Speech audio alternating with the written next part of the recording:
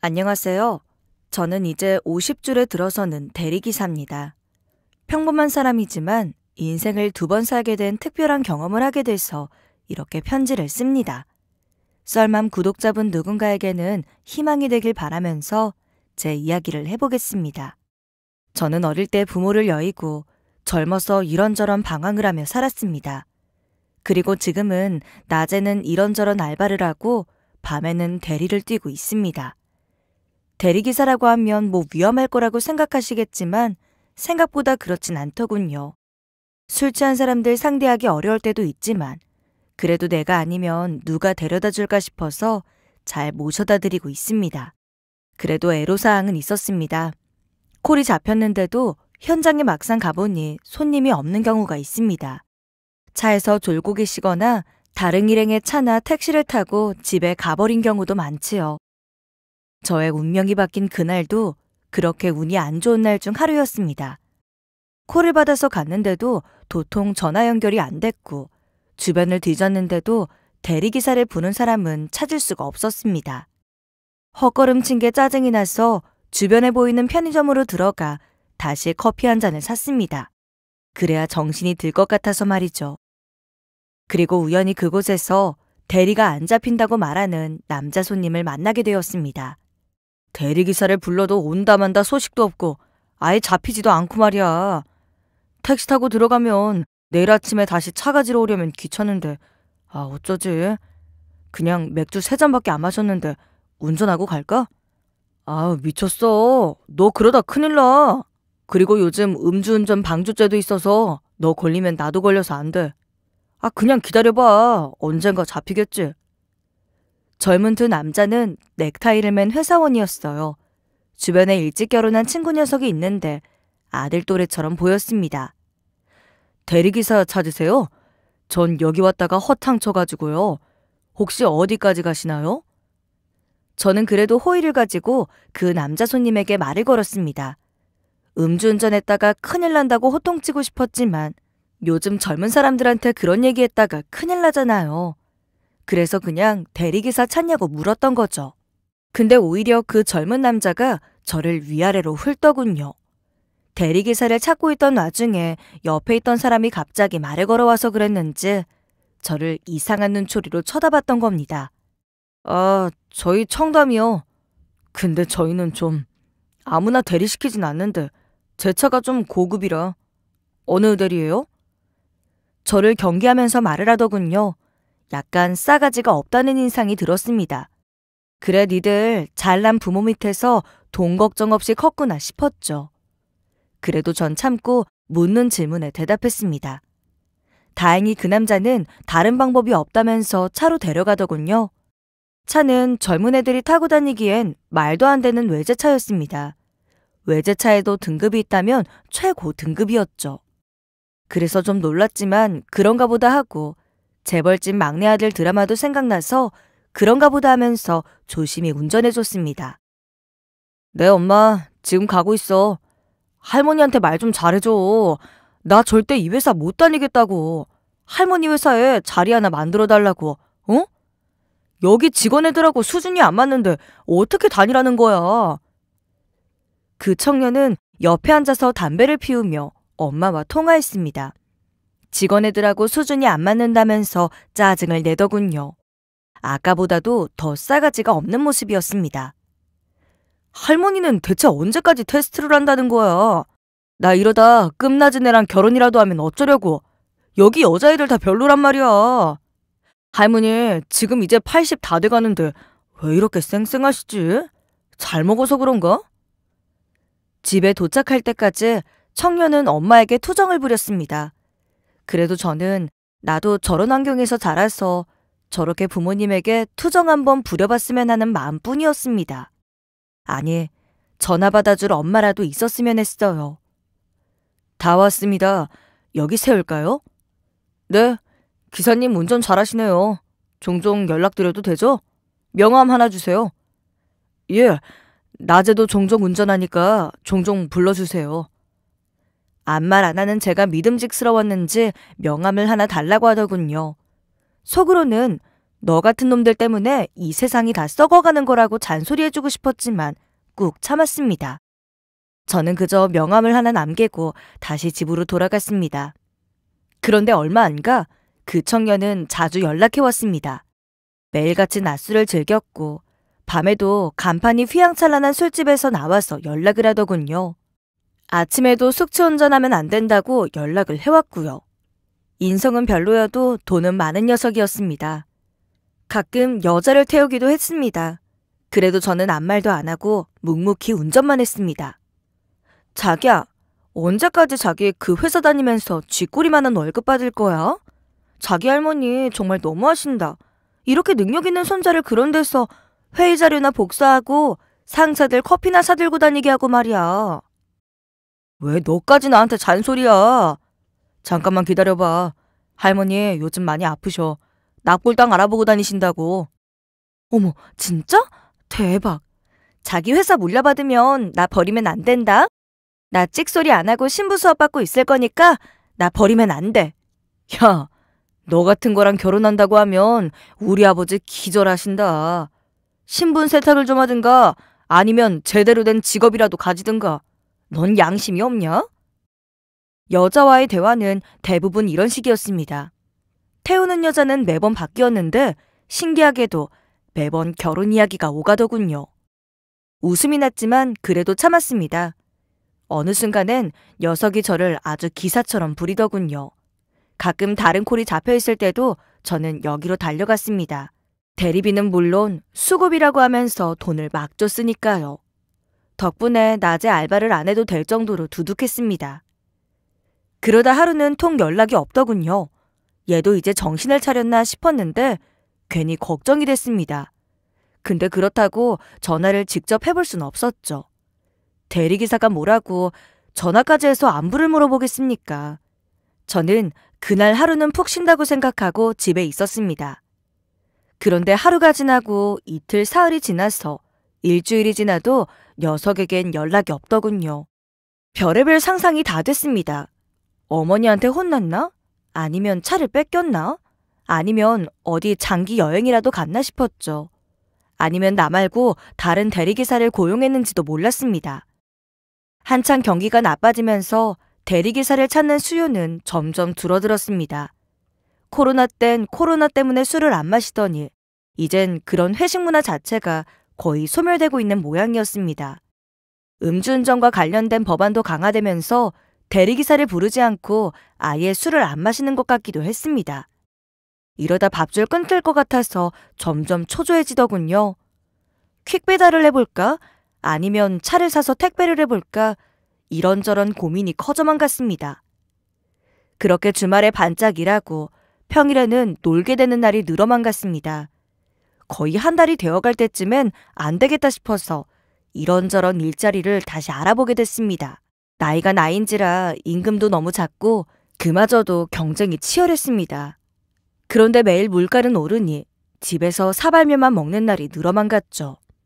이러다가 기초생활 수급자가 되는 건 아닐까 싶어서 씁쓸하더군요.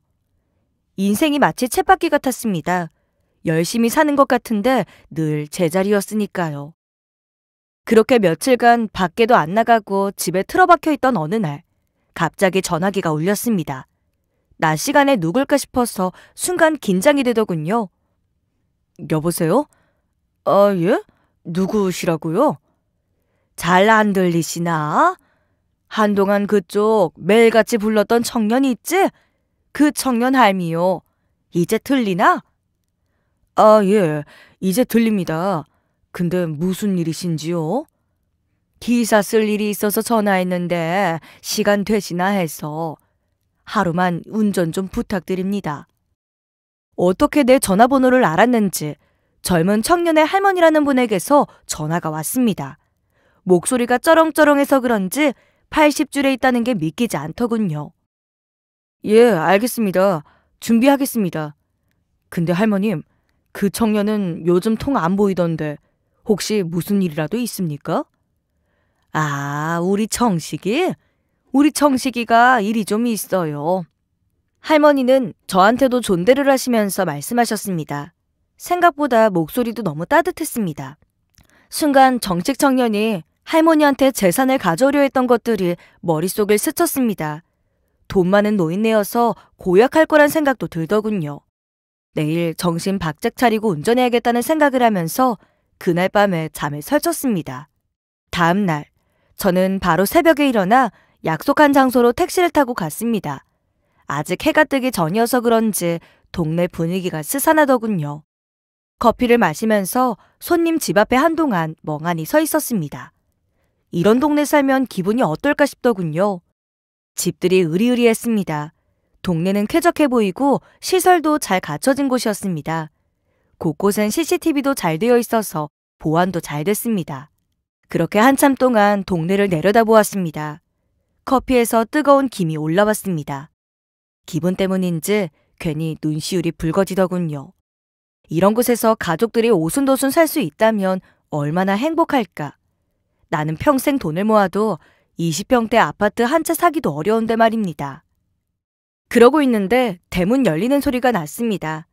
백발의 할머니가 고운 한복을 입고 나타나더군요. 할머니 뒤로는 가족들로 보이는 사람들이 서 있었습니다. 그 중에는 정식 청년도 있었지요. 아니, 이렇게 가족들이 많은데 운전해줄 사람이 없어서 나를 불렀나 싶더군요. 물론 내가 상관할 바는 아니었습니다. 아저씨 안녕하세요. 저희 할머니 잘 모셔다 주시기 바랍니다. 아, 네. 걱정 마세요.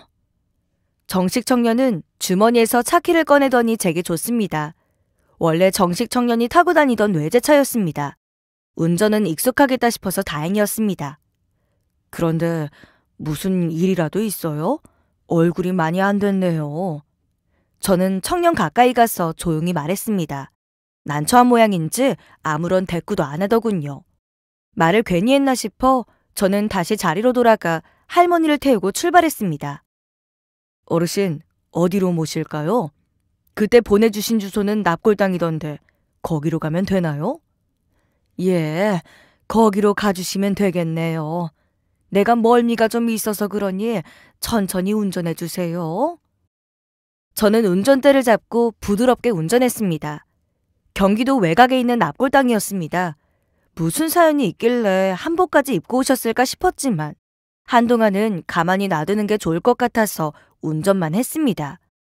청년의 얼굴도 안 좋아 보여서 그런지 무슨 일들이 있는 것 같았죠.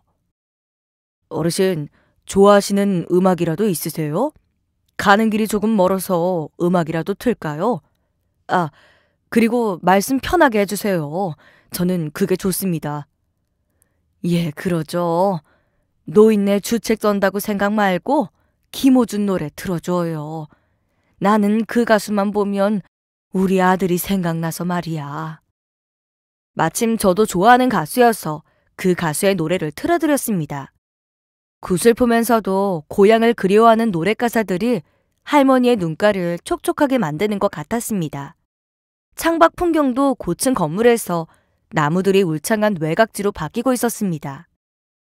그때 문득 할머니 말씀이 떠올랐습니다. 엄마가 노래를 좋아했다고요. 모르겠습니다. 노래를 듣다 보니 저도 울컥하더군요. 음악을 듣다 보니 금세 납골당에 도착했습니다. 저는 어르신 뒤를 따라서 조용히 들어갔습니다. 자연스럽게 숙연해지더군요. 어르신은 익숙한 듯 중앙에 자리 잡은 유골함을 유심히 바라보셨어요. 유리를 쓰다듬기도 했습니다. 여보, 잘 지냈소? 나야, 나 미자. 너무 오랜만에 왔지? 걱정 마. 나도 이제 조금 있으면 갈 거니까. 근데 나이가 들어서 그런지 요즘 더 우리 아들 생각이 나네. 내가 그때 그냥 일본으로 데려갈 걸 지금도 후회가 돼. 나도 어떻게든 살아보려고 했던 건데 일본 간 사이에 죽었을 줄 누가 알았겠어. 그러니까 당신도 내 원망은 하지 마쇼. 저는 옆에서 할머니 얘기를 조용히 들었습니다. 미자라는 이름이 어딘지 모르게 익숙했지만 세상에 비슷한 이름이 얼마나 많겠냐는 생각으로 한 귀로 듣고 한 귀로 흘려보냈습니다. 죽기 전에 아들 납골 땅도 여기 하나 만들어뒀어. 어디서 죽었는지 말을 안 해주니 알 길이 있나. 아들 이름 하나 알려주지도 않고. 내가 정말 이렇게 죽으려고 하니까 너무 화가 나서 말이야. 그래서 당신 곁에 안치해 주려고. 그러면 우리 애가 그나마 편하지 않을까. 들으면 들을수록 할머니의 사연은 기가 막힌 것 같았습니다. 물론 그렇다고 아는 체 하지는 않았습니다. 아무래도 시어머니가 죽은 손자의 행방을 끝까지 숨긴 것 같더군요. 어르신의 목소리에는 원망이 담겨 있었습니다. 그렇게 혼잣말을 하는 내내 할머니는 참담한 표정이었습니다.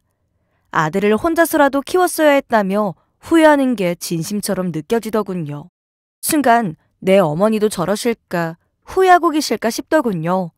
어딘가에 살아는 계실까 일본에서 돌아는 오셨을까 곱게 늙으셔야 할 텐데. 어르신은 남편과의 인사를 끝내고 옆동으로 자리를 옮겼습니다. 아마도 그곳에 첫째 아이의 유골함이 있는 것 같았습니다. 걸음이 무거우신지 중간중간 쉬어야 할 정도로 표정이 굳어 있었습니다. 아들아, 그래, 애미야. 이 못난 애미를 용서하지 말아다오. 우리 아가가 그때 얼마나 예뻤는지 몰라. 아빠 닮아서 눈도 크고 입술도 토토하니 얼마나 남자답게 생겼는지 모른단다. 할머니는 무거운 표정으로 죽은 아들에게 말을 걸었습니다. 눈물이 쉴 새 없이 흘러내리고 있었죠. 어디 묻혀 있는지조차 몰라서 이렇게 빈 유골함을 안치해 놓다니요. 어느 부모가 마음 편히 살 수 있었겠습니까? 그래, 조금만 기다려라. 나도 곧 갈 테니. 너무 오래 살았나 봐. 못 볼 꼴을 너무 많이 보네. 며느리가 나 죽으란 듯이 납골 땅을 알아보고 있더구나. 내가 그 집에서 어떻게 생을 마감할 수 있을지 나도 막막하단다. 가끔은 며느리가 주는 미숫가루도 이상하게 의심이 되고 손주 녀석은 매일같이 회사 물려달라고 때를 쓰니 말이다. 이렇게 사는 게 맞는지 모르겠다. 차라리 돈이라도 없었으면 좋았을 걸. 그럼 가족들 간에 정이라도 쌓여 있었지 않을까? 할머니는 아마도 다시 재혼을 해서 새 가족을 만든 모양이었습니다. 그동안 힘들게 사셨던 이야기들을 죽은 아들의 영정 앞에서 한없이 풀어놓더군요. 듣고 싶지 않았는데도 자꾸 이야기가 들려와서 저 또한 마음이 무거웠습니다. 그렇게 할머니 뒤에 서서 한창 있는데 이제 그만 올라가자고 하더군요. 얼굴은 아까보다 개운해 보였어요. 마음이 편해지셨는지 할머니는 저를 향해서도 관심을 보이기 시작했습니다. 자네, 부모님은 계신가? 결혼은 했고? 애들은 있지? 여느 어르신들처럼 저의 신상을 궁금해 하시더군요.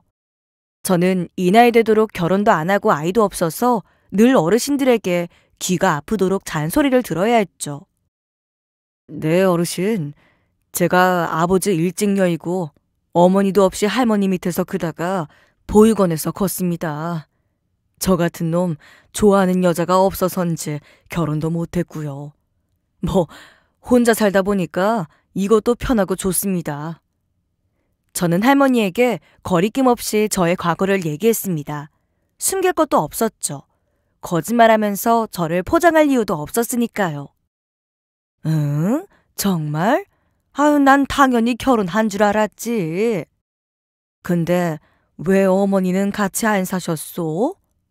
아유, 미안하네. 내가 괜한 걸 물어봤나? 아닙니다. 저희 어머니는 돈 벌러 일본에 가셨다고 들었는데 딴 남자를 만났는지 연락이 끊겼다고 했습니다. 제가 너무 어릴 때라 할머니가 얘기해 주신 것 말고는 저도 잘 모르겠습니다. 저의 가족사도 어르신의 이야기만큼이나 굴곡이 컸습니다. 미처 예상하지 못했던 모양인지 어르신이 저를 안쓰럽게 쳐다보시더군요. 에? 일본? 나도 젊을 때 일본에 잠깐 있었는데. 자넨 태어난 동네가 어딘가? 원래 아버지 살아계실 땐 이 납골당 근처에 있는 동네였어요. 그러다 할머니랑 짧게 살다가 보육원으로 갔죠. 사실 오늘 주소지 보고 놀랬어요. 제 고향이기도 해서요. 말을 하는데 저도 모르게 코끝이 찡했습니다. 버려졌다는 그 상처가 지금은 무뎌졌다고 생각했는데 막상 말을 하고 보니 아닌 것 같았습니다. 50년 만의 귀향이었습니다. 어르신은 제 말을 듣더니 고개를 계속 창밖으로만 두고 있더군요.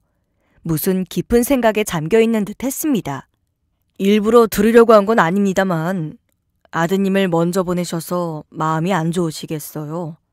제 말에 할머니가 갑자기 저를 쳐다봤습니다. 순간 괜한 말을 했나 싶었습니다. 근데 갑자기 할머니가 차를 세우고 커피숍으로 좀 가자고 하시더군요. 할 얘기가 많다고 말이죠. 기사님한테는 내 얘기를 해도 될 것 같아서 그러니까 커피 한 잔 마시고 가시죠. 저는 가까운 곳에 커피숍을 찾아 주차를 했습니다. 그리곤 할머니를 모시고 들어갔죠. 조용한 음악이 흐르는 곳이었습니다. 시 외곽지라 그런지 사람도 전혀 없더군요. 어르신은 피곤한 얼굴로 아주 쓴 에스프레소를 시켰습니다. 사실 나도 놀랐네. 자네 어릴 때 얘기를 들으니까 나랑 너무 비슷해서 말이야. 막상 얘기를 하려니 자네한테 미안하네. 나도 남편이 좋고 아이가 두세 살 때쯤 일본으로 건너갔고 이후에 다시 10년 동안 한국으로 돌아오지 않았었지. 그 아들이 살던 곳도 이 동네고. 아유, 이게 말이야. 아무리 나이가 들어도 내 새끼는 잊히지가 않아. 아유, 그럼요. 가슴에 돌덩이 하나 박혀 있는 거라고 옛날 어르신들이 그랬죠. 저는 어르신의 마음을 이해하기 위해 노력했습니다. 안쓰럽기도 했어요. 저는 사실 그동안 저를 버리고 산 어머니를 원망했습니다. 어머니도 어머니의 삶이 있으니까 이해해야지 하면서도 그게 쉽게 되지가 않더군요. 근데 막상 어르신의 얘기를 들으니 한편으로는 안쓰럽기도 했습니다. 아이를 버리고 싶어서 버린 게 아니었으니까요. 어르신은 고개를 끄덕이면서 다시 말을 이어나갔습니다. 근데 자네, 혹시 나이가 어떻게 되나? 저요? 68년 2월 2일입니다. 입춘 가까울 때 낳으셨죠. 너무 추워서 고생 많이 하셨다고 할머니가 얘기해 주셨어요. 할머니랑 연락 안 하고 지낸 지 오래돼서 지금은 어머니 소식도 물어볼 수가 없지만요. 저는 커피를 마시면서 제 생년월일을 얘기했습니다. 며칠 있으면 생일이 다가온다는 것도 말하는 순간에야 깨달았을 정도로 잊고 지냈습니다. 그런데 제 얘기에 할머니가 갑자기 벌떡 일어서더군요. 뭐? 68년 2월 2일? 2월 2일? 아니, 그럴 리가. 아니, 자네 이름이 뭔가? 어르신, 갑자기 왜 그러세요? 괜찮으세요? 안색이 안 좋으세요? 자네 이름이 뭐냔 말이야. 진짜 2월 2일생이란 거지? 나한테 거짓말하면 천벌 받을 줄 알아. 어르신 고생하세요. 왜 그러세요? 제 이름은 김천우라고 합니다. 보육원 들어갈 때 할머니가 다시 지어주셨다고 하셨어요. 그 전까지는 이름도 없이 지냈다고 해요. 아버지가 많이 아프셔서 호적에도 나중에야 올렸대요. 제 이름을 밝히자마자 할머니의 표정은 더 굳어졌습니다. 저를 보고 죽은 아들이 떠오르기라도 한 걸까 싶어서 걱정이 되더군요. 어르신 괜찮으세요? 다시 서울로 올라갈까요? 다시 집으로 가자는 제 말에도 할머니는 심각한 표정으로 저를 빤히 쳐다만 보았습니다. 어딘지 모르게 무섭더군요. 어떤 생각을 하시는 건지 답답하기만 했습니다. 자네 혹시 나를 알고 있나? 그래서 우리 손자한테 접근했어? 아니, 아니고서야. 내 아들하고 청부가 이렇게 딱딱 들이맞는다 말인가? 네? 그게 무슨... 혹시 아드님도 2월 2일생이세요? 제가 어르신을 어떻게 한다고 접근했다고 하세요? 그리고 어르신은 다른 가족들도 다 계시잖아요. 어르신은 고개를 깨웃거리더니 갑자기 누군가에게 전화를 걸더군요. 어, 오랜만이네요, 고모님. 제가 한 가지 확인해보고 싶은 게 있어서요. 그때 제 아들 죽었다고 하지 않으셨어요? 고모님, 저 이제 내일 모레 장례 치를 나이에요. 이제는 저도 알아야 하잖아요. 말씀해 주세요. 은혜는 섭섭지 않게 해드릴게요. 예? 제발요. 자네 왜 이렇게 흥분해 있나? 아, 무슨 일인가 글쎄. 차초지종을 알아야 말하지. 수찬이 두세 살 때 얼굴 보고 못 본 사람이 갑자기 수찬이는 왜 찾는다 그래? 얼굴은 모르지만 느낌이라는 게 있잖아요. 제발 도와주세요. 어르신이 스피커폰으로 전화를 하는 바람에 이 모든 대화가 다 들렸습니다. 그래서 더 민망하더군요. 저는 저절로 고모님의 말에 귀를 기울이게 됐습니다. 이건 진짜 내가 자네 죽을 때 되면 말해주려고 했는데 자네 아들 보육원에 버렸대.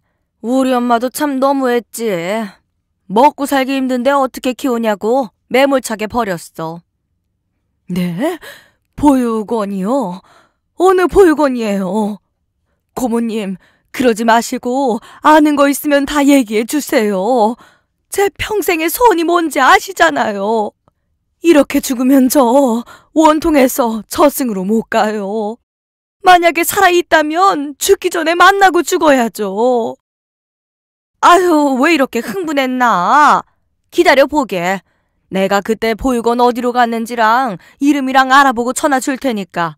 근데 말이야, 우리 집 근처에 좋은 땅이 하나 있는데, 아, 나중에 도로가 난다고 해서 말이야.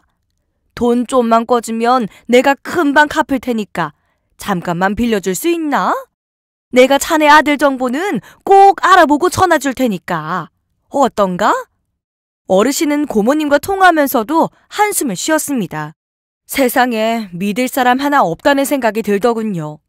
이런 것까지도 거래를 하시다니. 그럼요, 고모님. 걱정 마세요. 아들 살아있고 만나게만 해주시면 제가 그 땅 사드릴게요. 제가 지금 이 나이에 돈이 뭐가 필요하겠어요. 죽기 전에 아들 얼굴 한번 보는 게 소원인걸요. 그러니 잘 알아봐 주세요. 어르신은 돈보다 아들의 얼굴을 보고 싶다고 했습니다. 그리곤 전화를 끊었습니다. 그러더니 의미심장한 미소로 저를 쳐다보더군요. 오늘은 여기까지만 얘기하지만 이상하게 기사님하고 꼭 연결이 될 것만 같아서 말이야. 일단 며칠만 기다려보고 다시 연락 주겠네. 이제 서울로 가세. 저는 몇 가지 겹치는 걸로 제가 어르신의 아들이 될 거란 생각은 안 했습니다. 68년 2월 1일에 태어난 사람이 세상에 얼마나 많겠습니까? 그럼요, 어르신. 아드님하고 제가 생년월일이 같으니 그래도 인연이네요. 그렇게 말하면서도 저는 정식 청년 때문에 졸지의 사기꾼이 된 것 같았습니다. 그래도 어쩌겠습니까? 어르신 주변에는 워낙 어르신 돈을 노리는 사람들만 드글거리는 걸요. 매사에 주변 사람들을 의심하고 또 조심해야 했을 겁니다. 그렇게 그날은 일정을 끝내고 집으로 모셔다 드렸습니다. 정식 청년이 준 일당 말고도 수고비를 더 두둑히 챙겨주셔서 고마울 따름이었습니다. 이후 얼마나 지났을까요? 정식 청년에게서 뜻밖의 전화가 걸려왔습니다.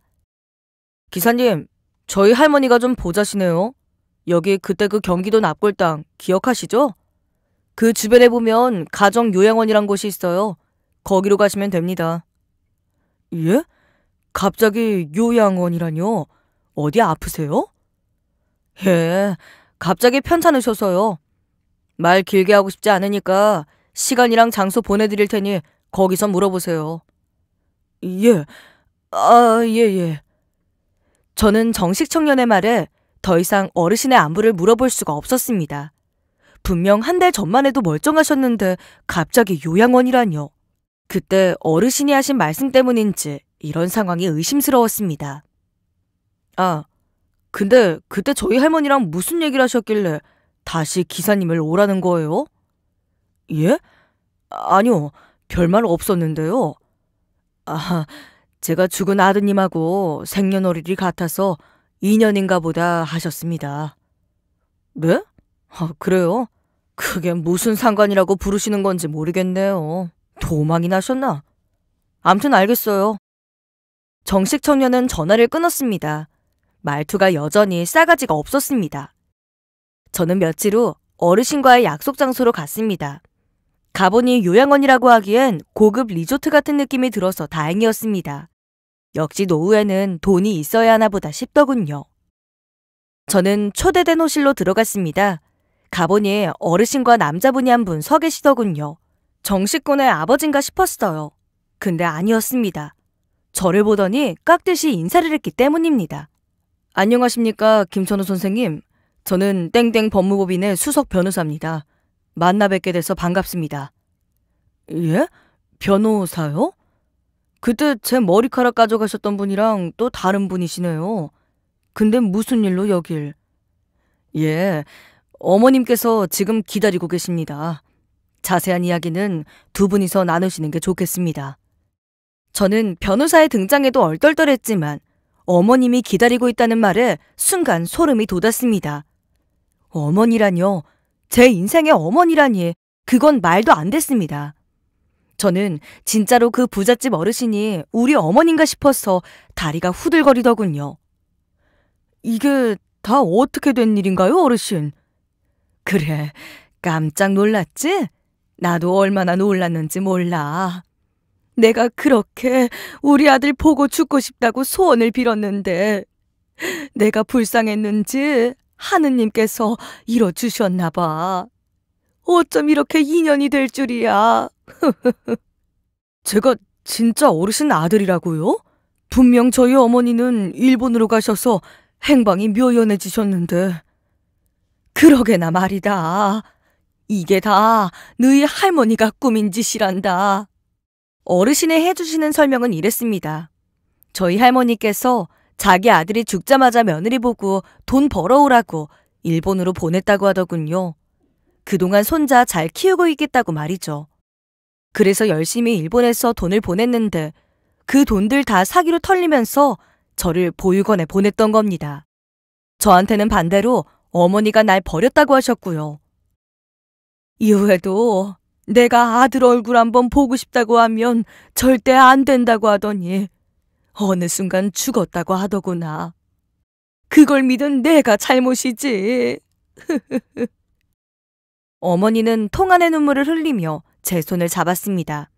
본인이 확인을 했어야 했는데 못했다면서 말이죠. 어르신은 가슴을 치면서 너무나 원통해 하셨습니다. 이러다 큰일 나겠다 싶을 정도로 감정이 격해 있었습니다. 어머니? 진짜 제 어머니시죠? 어머니 고정하세요. 그러다 큰일 나세요.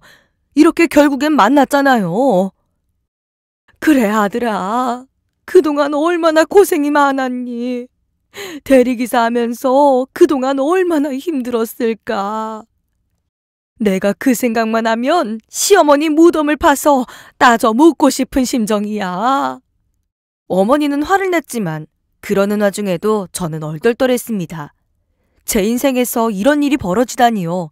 이게 현실인가 꿈은 아닌가 싶었습니다. 옆에 있던 변호사는 어머니를 고정시키고 제게 깍듯하게 인사를 전했어요. 그리고는 서류를 꺼내와 이렇게 말하더군요. 이건 어머니 명의의 재산들을 상속한다는 서류입니다. 그리고 그 밑에 서류는 호적 정정 신청서고요. 저는 그 서류를 보고 더 놀랐습니다. 호적 정정이야 그렇다고 쳐도 상속이라뇨. 상속 서류에 있는 재산 목록을 보고 저는 놀라지 않을 수가 없었습니다. 건물이 3개, 고급 외제차가 5대, 유명화가 그린 몇십 점 외에도 가지고 계시던 골드바 목록까지 다 적혀 있더군요. 재산 상속이요? 제가요?